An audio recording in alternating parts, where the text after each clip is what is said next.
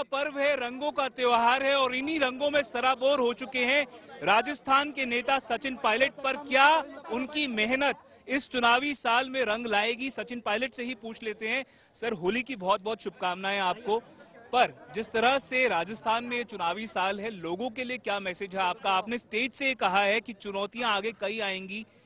होली का उत्सव है, पर आगे वाली चुनौतियों के लिए भी आप लोगों को तैयार रहना होली का जो त्योहार होता है, पूरे देश में रंगों का, खुशियों का, भाईचारे का, प्रेम का, सद्भावना का त्यौहार है और सब मिलकर मनाते हैं।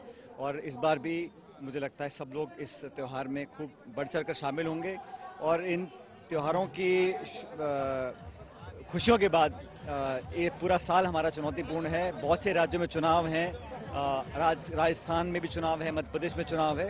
इसलिए मुझे लगता है हम सब लोगों को अपनी ताकत केंद्रित करनी पड़ेगी और इस परिपाटी को तोड़ना जो पाँच पाँच साल का यहाँ राजस्थान में होता है पाँच साल कांग्रेस पाँच साल बीजेपी उस परिपाटी को तोड़ने के लिए मेहनत कर कर हम जनता का आशीर्वाद प्राप्त कर सकें।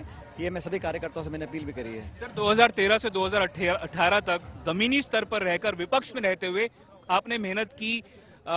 ऐसा आपके समर्थकों का कहना है और आपने जमीनी स्तर पर जगह जगह यात्राएँ भी निकाली और आप खुद लोगों से मिले भी। पर क्या लगता है कि जो आप परिपाटी की जो बात करते हैं, बीजेपी कांग्रेस की जो बात करते हैं, उसको तोड़ने के लिए पार्टी को जो है वो कड़े फैसले लेने ज़रूरी है?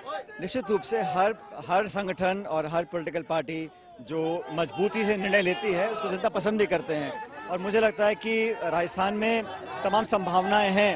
और हम लोग मिलकर काम करेंगे तो लोगों का आशीर्वाद हमको निश्चित रूप से मिलेगा। बीजेपी ने, मैं समझता हूँ, पिछले आठ साल में जो केंद्र की सरकार रही है